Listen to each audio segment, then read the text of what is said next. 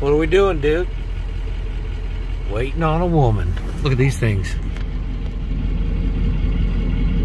Run flats. Those are nice. Nice lawnmowers right there. We're here to pick up that thing.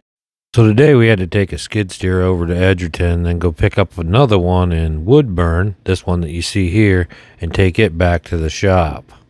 Pretty sure it's that one. You think that plow and that solder would uh, fit on this diesel?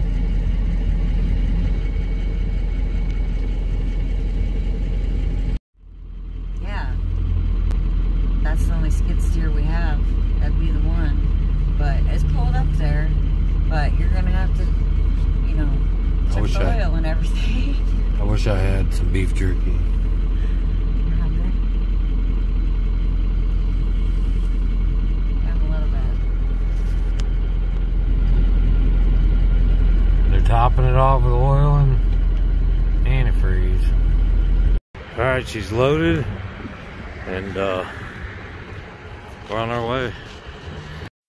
Well, we were able to get the John Deere skid steer back to the shop successfully, and we got it unloaded. And then we found out our Captiva wouldn't start, so that was another issue. But when we got home, we saw this.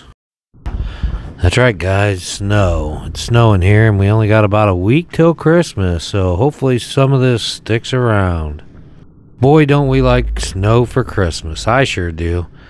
Now, this next uh, scene here, we go over to our niece's house. She posted a gnome tree on Facebook, and we had to go vlog it.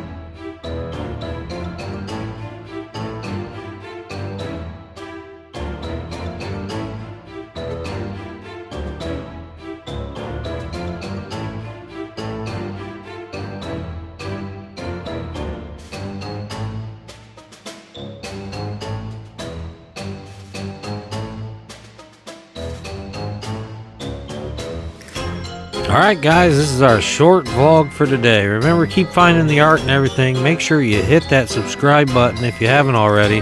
Hit the like button for this video, and uh, we'll see you next time. Peace, y'all. Have a Merry Christmas.